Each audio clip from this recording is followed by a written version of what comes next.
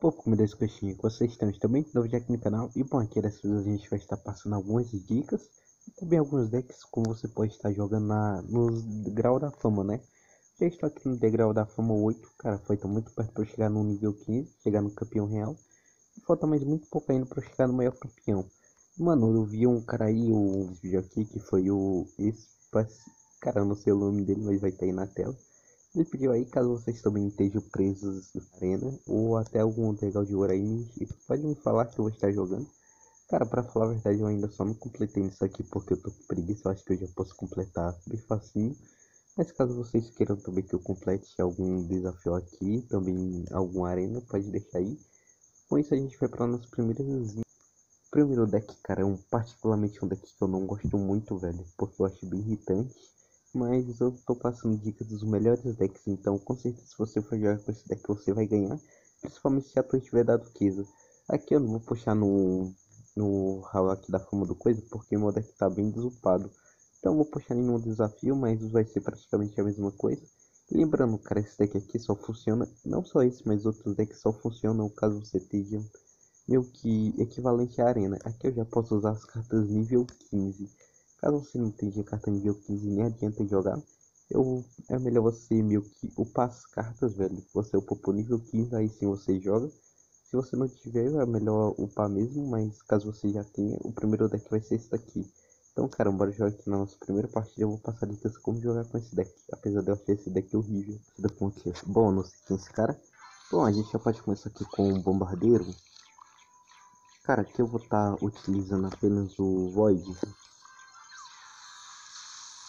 Cara, se soubesse que ele teria jogado isso, eu não teria jogado Void, teria jogado Void do outro lado. Aqui a gente começa meio que suave, porque a gente vai descobrindo aqui nosso oponente. E também aqui a gente tem que ciclar muito coletor. Com isso, acho que eu vou dar apenas umas flechas, deve ser o suficiente para matar. Ok, e a gente já tem um coletor em campo. Não tem um coletor em campo, a gente vai jogar o coletor agora. E vai ver com que ele vai estar tá se defendendo, sem falar que agora é que ele gastou veneno. Ok, a gente coloca isso aqui. Coloca isso aqui aqui. Excelente defesa que a gente acabou fazendo uma defesa bem tranquila. Ele ainda vai ter que defender isso tudo. Tá? Usou um cavaleirozinho aqui. Cara, a gente não precisa fazer nada contra esse cavaleiro. E a gente agora pegou uma vantagem imensa de LX, velho. Não queria falar nada, mas a gente pegou uma vantagem imensa de LX. Um voidzinho bem aqui. Mano, ele gastou veneno. Agora bora ver como ele vai defender isso tudo. Ele simplesmente não vai. Habilidade de Pequeno Príncipe. E, mano, eu falei, não vai defender tudo isso, porque não tem como, velho. Esse daqui é um, cara, é um dos decks mais irritantes. A gente simplesmente de um ataque conseguiu levar uma torre do cara. É que eu não vou estar utilizando mais nada, já poderia partir até para três coroas.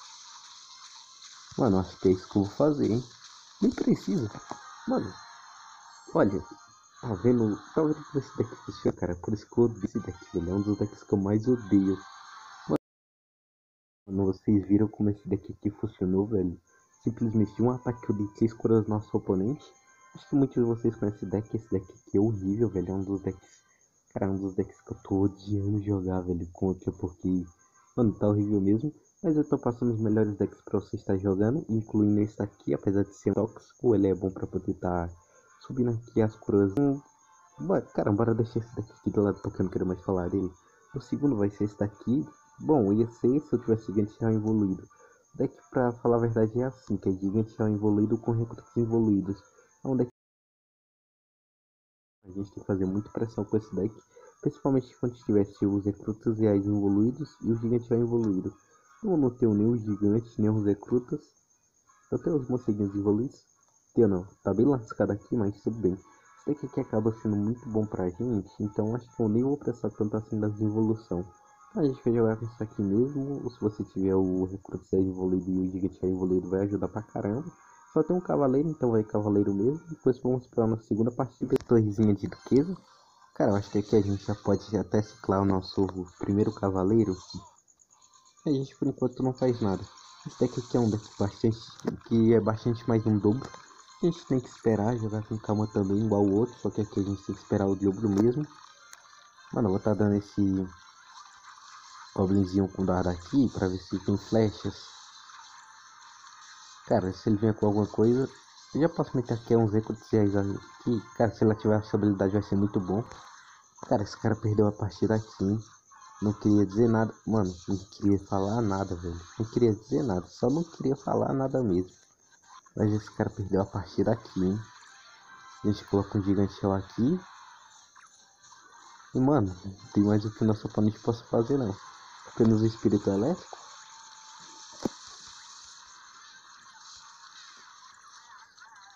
A gente vai tomar muito dano desses morceguinhos. Cara, acabei tomando muito dano desses morceguinhos por minha culpa mesmo. Se eu tivesse colocado qualquer coisa ali, eu teria defendido. Mas tudo bem, a gente tá numa vantagem imensa. O venenozinho aqui. Como ele tem flashes, eu acho que vou estar tá dando um goblinzinho aqui. Porque a gente vai dar dois hits, eu acho. Dois hits? É, eu acho que a gente deu só um. Mas também já é uma vantagem. A gente espera mais o dobro de LX que vai realmente ajudar a gente. E o deck desse cara, com certeza aqui é um deck de golem, velho. Acho que não tem nem muito que explicar aqui. Ou é golem de LX ou é golem de golem. Só que eu acho que é golem de LX, por causa que ele tem o... O coisa aí dele. É, 100% golem de LX.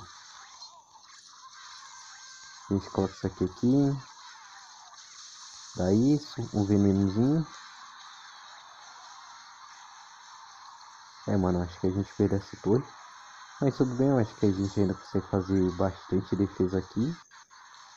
Vou colocar isso aqui aqui. Acho que a gente consegue levar tranquilamente. Cara, agachar aquilo ali, a gente já pode preparar até um ataque aqui, hein? Cadê os morceguinhos dele?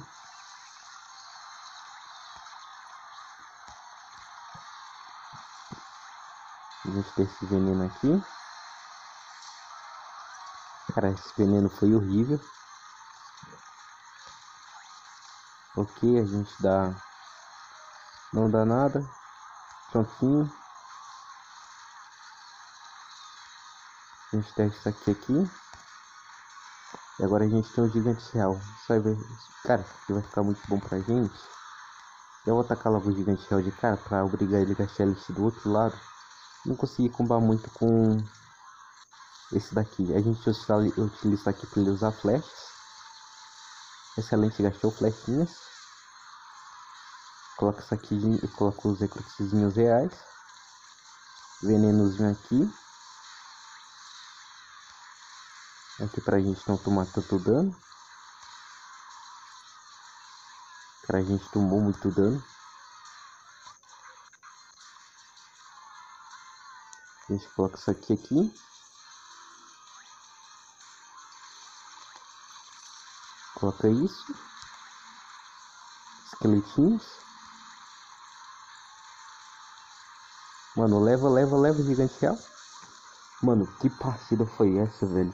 Confesso que teria sido uma partida um pouco mais fácil, acabei errando alguns requisitos.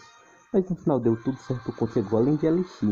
E gigante evoluído, mesmo sem arqueiros, arqueiros não, recrutas evoluídos. Mano, a gente uma partida, confesso que foi um pouco complicada só porque a gente não tinha as duas evoluções. Cara, se a gente tivesse uma evoluções, a gente teria ganhado com toda certeza. Também caso você não tenha, você também pode esperar, porque aqui tá dando praticamente o gigante real de graça, a evolução dele. Então, cara, vai ser muito bom jogar com esse deck aqui, caso que ele faz um deck bastante pressão dos dois lados, principalmente com recursos evoluídos, acaba sendo muito bom. Do bait que se você usar o goblinzinho, o cara provavelmente vai tacar flechas. Se o cara tacar flechas, você usa um morceguinho, a gente tem um espírito, então, mano, fica muito bom. Com isso a gente Bom, mano, a gente tá aqui com o nosso último deckzinho aqui. Nosso último deckzinho aqui é um deck bem... Um deck bem beat, que é um Mega Cavaleiro com Corredor Pirotécnica evoluída. Aqui eu vou estar tá usando Void, não vou estar tá usando Zap. Eu, como eu falei, eu não tenho morceguinhos evoluídos, então vai só com Pirotécnica evoluída mesmo. A gente tem mini pack e coisa, cara, o Agang, cara, que é um deck de muita pressão, velho, mas um dobro de LX. Mas por enquanto você vai fazendo mini impressões e apesar de o cara ter duquesa, com Mega tanca muito, velho. Que eu acho que você pode também até trocar caso você queira um Void pelo um Terremoto, que eu acho que vai adiantar muito mais. Terremoto, bolinha de fogo, só que aqui eu vou estar usando Void. Cara, bora aqui na nossa primeirazinha partida aqui com esse deck, porque, cara, ele é um dos mais usados. um dos mais irritantes também. Então bora aqui na primeira partidazinha, a gente tirou ela, cara, não vou nem falar o nome dele. A gente coloca esse morcegos aqui, vamos ver o que ele vai estar utilizando. Ok. Cara, talvez eu consiga fazer uma ativação de torre. Se é agora torre. Excelente ativação, eu não sei qual deck é, então com ativação pode ajudar muito. Será que a P.E.K.K.A chega lá? Chega nem a pau. Eu ver isso aqui aqui. Cara, ele tem terremoto, ok, isso é bom pra gente, porque a gente tem... Porque a gente tem nenhuma construção e o terremoto acaba ficando sem valor com isso. E segura flechinhas. É, realmente o problema vai ser esse daí, que ele tem Tesla. A gente vai ter que pegar algum predix de Tesla com o vácuo. A gente por enquanto não faz nada, que é praticamente a primeira partidazinha aqui. A gente não chegou nem no dobro. A gente pode ciclar umas flechas. Megazinho cavaleiro aqui. Ok, excelente mega. A gente segura aqui um vácuo só para ver o que ele vai estar tá utilizando. Valkyrie aqui. Vácuozinho aqui. Pula, pula, megão. Uhum, boa, megão. Ignora isso. Dá uma pirotécnica bem aqui. Nossa próxima já é evoluída. Com isso, bora ver o que vai estar tá fazendo aqui.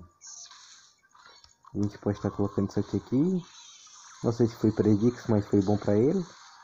Meteu um hit, vai praticamente igualar o dano da torre. Não vou estar tá agachando porque ele tem Tesla, então isso vai nos complicar muito. Só que, mano, chegou o dobro dele sim, o que a gente estava precisando. A gente já pode começar com o Megon aqui atrás. E a gente já tem uma pirotécnica evoluída na conta. Umas flechinhas aqui que a gente já pode estar dando nessa pirotécnica. Cara, terremoto horrível. A gente cicla isso daqui aqui. E, mano, levou o jogo, hein? Mano, ah não, mano, vai falar que a internet... Ah, mano, o que que aconteceu aqui, mano?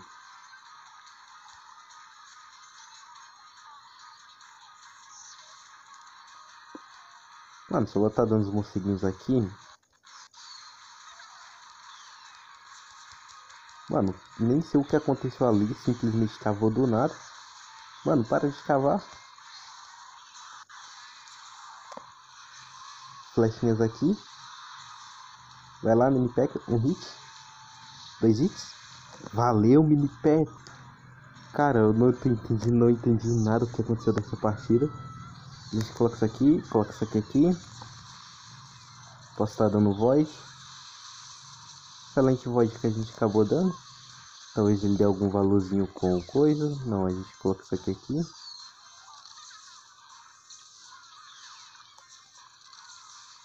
Mano, flechas bem aqui porque a gente só precisa ciclar agora. Mini peca. Antes da mini peca já deve adiantar tudo. A gente coloca isso aqui. Um voidinho. Gente dá isso. A gente coloca aqui sem sofrer nenhum hit. Sem sofrer nenhum hit é, né? é, complicado também. A gente coloca com os morceguinhos aqui. Void. Cara, excelente void. E a gente tem uma partida aqui, velho. Não tem mais nada que ele possa estar fazendo. Flechas. Mano, excelente partida. Uma partida bem tranquila, na verdade. Só cavou algumas vezes, cara. Do nada cavou e começou a bugar tudo. Mas no final deu certo. Então é isso que conta.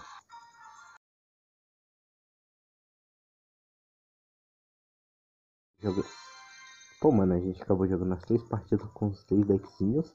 Eu recomendo super esses decks. Lembrando, caso você esteja no mesmo nível de torre. Porque se você. Não adianta você vir com esses decks aqui nível 13 com o cara já nível 15. Então, se você tiver sim.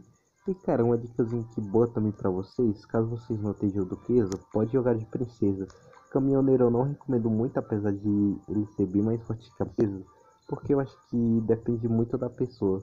Mas que caminhoneiro, você tem que saber a hora certa de gastar ou não gastar elixir. Tipo, destruidores de muros chegam muito perto de bater no caminhoneiro, mas você não precisa gastar eles para defender eles. Já precisa, você precisa. Eu acho que vai depender muito da interação desses dois, caso você não esteja duquesa, que praticamente é impossível ganhar ela sem pagar, então não sei se você já tem nível 15. Caso não tenha, eu recomendo usar princesa. E é isso aí, cara. Se você tiver gostado, deixa o like, se inscreve. Esses aqui são os três deckzinhos aqui que eu recomendo. Principalmente essa aberração que eu odeio, mas se você quiser subir logo aqui chegar mais campeão, eu recomendo usar isso daqui. Mas bom, tô vazando.